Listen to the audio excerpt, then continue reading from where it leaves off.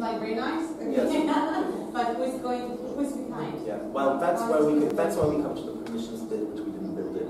Um, look, so it really depends on what type of learning you're talking about. So because we see this as a system for different kinds of learning, we also imagine that we would have a very sophisticated permission system built on top of it. And this forms the structure, and then it's all about who do you give permission to issue what kind of credential. Let me give an example. Formal higher education, super easy. You create a credential type called degree and a credential type called ECTS, and the only way you can access the system is if the government gives you a login after you become accredited. That's a super easy one. Uh, what about non-formal ones? So there's a few different scenarios you could look at. So let's say if you've